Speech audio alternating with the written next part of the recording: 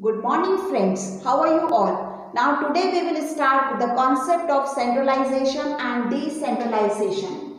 Centralization of authority refers to the concentration of decision making powers at the top level management. Centralisation का मतलब है कि किसी भी ऑर्गेनाइजेशन के सभी डिसीजंस लेने का अधिकार टॉप लेवल मैनेजमेंट के पास ही होता है सेंट्रलाइजेशन स्मॉल ऑर्गेनाइजेशंस में पॉसिबल है जैसे एक सोल रीडिंग कंसर्न है स्मॉल शॉपकीपर है तो वह अपनी शॉप से रिलेटेड परचेज फाइनेंस और सेल्स के सभी डिसीजंस लेता है। तो वह है centralisation now what is decentralisation it refers to the evenly and systematic distribution of managerial authority from top level management to middle and lower level अब यह सोल ट्रेडर मान लीजिए किसी पर्सन को हायर करता है एम्प्लॉय रखता है तो उसने कुछ वह अपने एम्प्लॉय को डेलीगेट कर दिए। छोटे छोटे डिसीजंस लेने का अधिकार अपने एम्प्लॉय को ट्रांसफ़र कर दिया तो यहीं से डिसेंट्रलाइजेशन स्टार्ट होता है। मान लीजिए इस स्मॉल शॉपकीपर ने अपनी फॉर्म को सोल ट्रेडिंग कंसर्न से पार्टनरशिप फॉर्म में कन्वर्ट कर दिया। फोर पार्टनर्स है अब। तो एक पार्टनर परचेज से रिलेटेड वर्क दिखेगा, एक प्रोडक्शन एक फाइनेंस और एक मार्केटिंग से रिलेटेड वर्क दिखेगा। अब ये सभी फोर पार्टनर्स अपने अपने डिपार्टमेंट अपने अपने एरिया के लिए डिसीजंस लेंगे।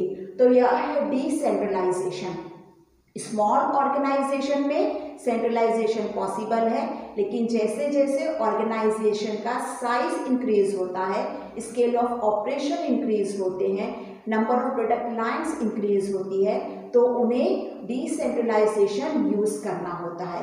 क्योंकि इस केस में हर डिसीज़न टॉप लेवल मैनेजमेंट नहीं ले सकता। उनके भी कुछ रिस्ट्रिक्शंस होते हैं। इसीलिए वे अपने पावर्स मिडल लेवल और लोअर लेवल को डेलीगेट कर देते हैं ट्रांसफ़र डिस्ट्रीब्यूट कर देते हैं।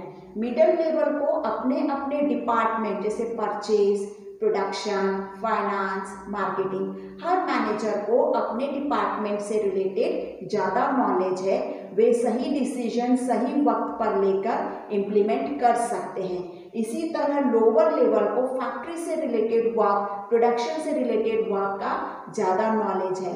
तो वे सही डिसीज़न ले सकते हैं। इसलिए टॉप मैनेजमेंट को अपनी मैनेजरियल अथॉरिटी मिडल लेवल और लोअर लेवल को डिस्ट्रीब्यूट करनी होती है और यही है decentralisation and organisation must maintain a balance between centralisation and decentralisation to increase effectiveness and to improve overall functioning कोई भी ऑर्गेनाइजेशन पूरी तरीके से सेंट्रलाइज या डिसेंट्रलाइज नहीं हो सकती।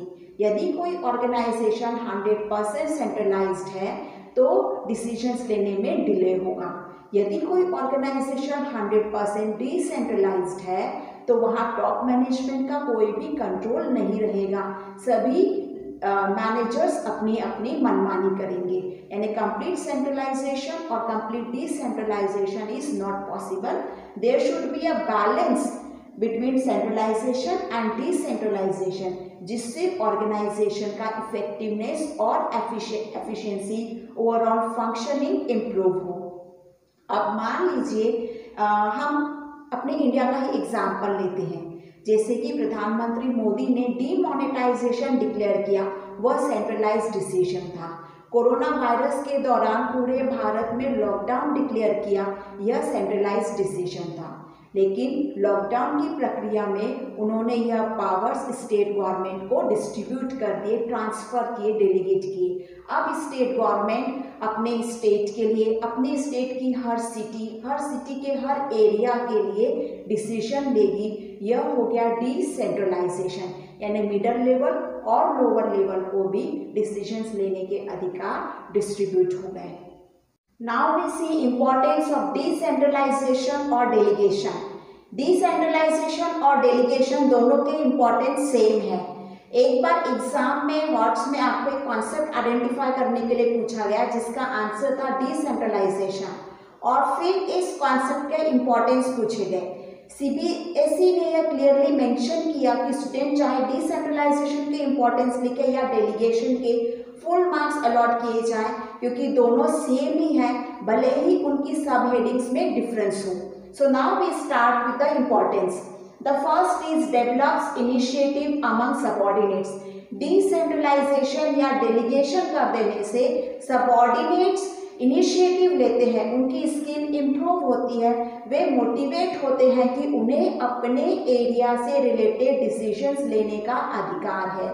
उन्हें यह अथॉरिटी और रिस्पॉन्सिबिलिटी मिली है। और इन डिसीजंस के लिए वे अकाउंटेबल भी हैं। Now, the second is develops managerial talent for the future. Top management जब कुछ पावर्स डेलीगेट कर देता है डिसेंट्रलाइज कर देता है तो लोअर लेवल मैनेजर्स को मिडल लेवल मैनेजर्स को ज़्यादा अथॉरिटी रिस्पॉन्सिबिलिटी मिलती है। उन्हें अपने एरिया से डिसीजंस लेने का अधिकार होता है। इससे उनका मैनेजरियल टैलेंट डेवलप होता है। हमें फ्यूचर के लिए भी बेटर मैनेजर्स लीडर मिलते हैं। इसके साथ यह भी पता चल जाता है कि कौन सा मैनेजर रिस्पॉन्सिबिलिटी लेने के लिए केपेबल नहीं है, या किस मैनेजर्स के डिसीज़न सही नहीं होते, या कौन सा पर्सन अच्छे से अपने ग्रुप को लीड नहीं कर रहा। Third is quick decision making decentralisation या डेलीगेशन कर देने से ऑर्गेनाइजेशन में डिसीज़न मेकिंग प्रोसेस क्विक हो जाती है, क्योंकि मिडल लेवल या ऑपरेशनल लेवल को रूटीन वर्क के लिए, अपने एरिया से रिलेटेड डिसीजंस लेने के लिए टॉप मैनेजमेंट की परमिशन की ज़रूरत नहीं होती। वे क्विक डिसीजंस लेके उसे इम्प्लीमेंट करते हैं, उस पर एक्शन लेते हैं, जिसका बेनिफिट पूरी ऑर्गेनाइजेशन को मिलता है। The fourth importance is relief to top management decentralisation या डेलीगेशन कर देने से टॉप मैनेजमेंट को अब अदर डिपार्टमेंट्स के रूटीन वर्क ऑपरेट करने की या उसे सुपरवाइज करने की ज़रूरत नहीं है। टॉप मैनेजमेंट अपना टाइम पूरी ऑर्गेनाइजेशन के लिए स्ट्रैटेजी प्लान करने में, इस स्ट्रैटेजी से रिलेटेड पॉलिसी बनाने में डिवोट कर सकता है। Fifth is facilitates growth decentralisation कर देने से हर डिपार्टमेंट के बीच में कंपटीशन अराइज होती है हर डिपार्टमेंटल मैनेजर अपनी टीम को बेस्ट प्रूफ करना चाहता है जिससे उनकी प्रोडक्टिविटी इंक्रीज होती है एफिशिएंसी इंक्रीज होती है और इसका बेनिफिट पूरी ऑर्गेनाइजेशन को मिलता है पूरी ऑर्गेनाइजेशन की ग्रोथ इससे पॉसिबल है the last is better control decentralisation या डेलीगेशन कर देने से टॉप मैनेजमेंट ने अथॉरिटी और रिस्पॉन्सिबिलिटी डाइवर्ट कर दी है डिस्ट्रीब्यूट कर दी है, जिससे अब मिडल लेवल और लोअर लेवल अपने एरिया के लिए अकाउंटेबल आंसरेबल भी है। तो उन्हें ज़्यादा ध्यान से अपना काम करने की ज़रूरत है। Top management balance score card या मैनेजमेंट इंफॉर्मेशन सिस्टम या कंट्रोलिंग टेक्निक्स यूज़ करके यह फाइंड आउट कर सकता है कि कौन से डिपार्टमेंट के स्टैंडर्ड वर्क और एक्चुअल वर्क में डिफरेंस है। तीनों ही लेवल्स के मैनेजर साथ में मिलकर यह डिस्कशन कर सकते हैं कि इस डेविएशन का रीज़न क्या है और इस डेविएशन को कैसे कंट्रोल किया जा सकता है। इससे पूरी ऑर्गेनाइजेशन का बेनिफिट होता है वे सभी मिलकर अपने एक्चुअल वर्क और स्टैंडर्ड वर्क को आ, साथ में कर सकते हैं अपने एक्चुअल वर्क को स्टैंडर्ड वर्क के हिसाब से मैनेज कर सकते हैं Now, in spite of various benefits of decentralization and delegation, there should be a balance between centralization and decentralization. यदि मैनेजमेंट यह बैलेंस मेंटेन नहीं करता तो डिसेंट्रलाइजेशन के बेनिफिट्स होने की जगह डिसएडवांटेजेस होने लगेंगे। फिर मिडल लेवल और लोअर लेवल पर कोई भी कंट्रोल नहीं रहेगा और वे ऑर्गेनाइजेशन ऑब्जेक्टिव को अचीव करने के लिए वर्क नहीं करेंगे। इसलिए मैनेजमेंट को बहुत कॉशियस होना चाहिए ताकि डिसेंट्रलाइजेशन का बेनिफिट पूरी ऑर्गेनाइजेशन को, हर एम्प्लॉय को मिले। Now we see the difference between delegation and decentralization. The first is nature. Delegation is necessary or compulsory act as nobody can do everything.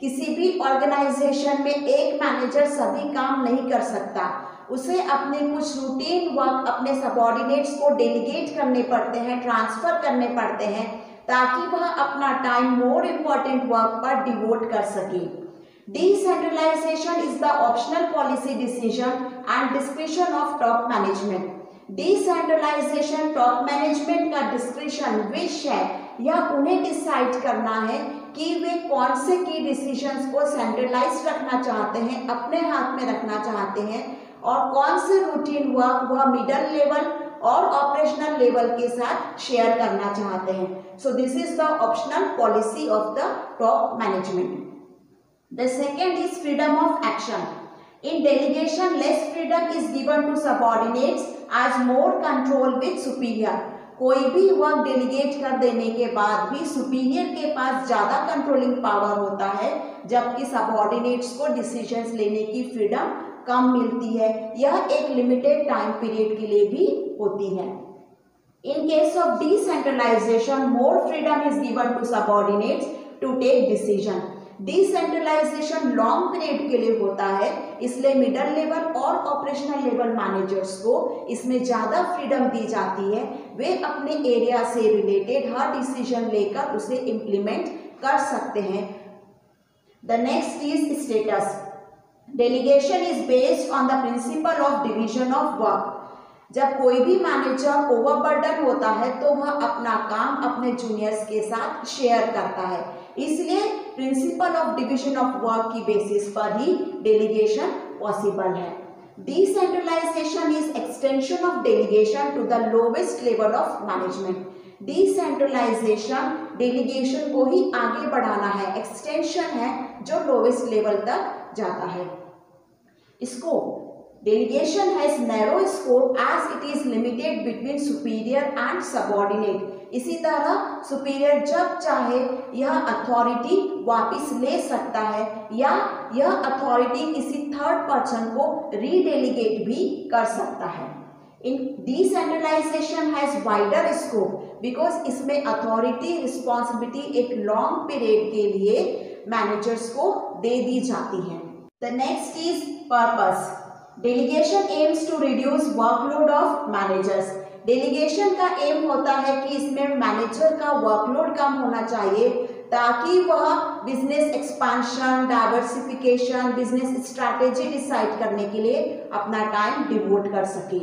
Decentralisation aims to enhance role of subordinates by giving them more autonomy decentralisation में middle level operational level को ज़्यादा authority दी जाती है powers दिए जाते हैं, उनका role increase किया जाता है।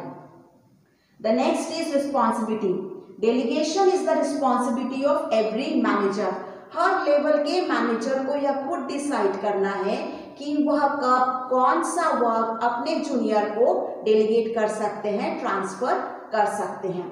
Decentralisation is the responsibility of top management यह टॉप मैनेजमेंट की ऑप्शनल पॉलिसी डिसीज़न है, इसलिए यह रिस्पॉन्सिबिलिटी भी टॉप मैनेजमेंट की है कि वे ही डिसाइड करें कि उन्हें कौन से वर्क अपने ऑर्गेनाइजेशन में डिसेंट्रलाइज करने हैं। The last is authority in case of delegation authority is with top management work delegate कर देने के बाद भी सबसे ज़्यादा पावर स्टॉक मैनेजमेंट के हाथ में ही होते हैं। ऑर्गेनाइजेशन की टोटल अथॉरिटी टॉप मैनेजमेंट के पास होती है। In case of decentralisation it is systematic and evenly distribution of authority at every level decentralisation के केस में टॉप लेवल मिडल लेवल और लोअर लेवल के बीच में सभी अथॉरिटी रिस्पॉन्सिबिलिटी और अकाउंटेबिलिटी डिवाइड होती है। सो so, यह एक सिस्टमैटिक और इवनली डिस्ट्रीब्यूशन है। I hope you have understood the difference between delegation and decentralisation if you like this video like share and subscribe my channel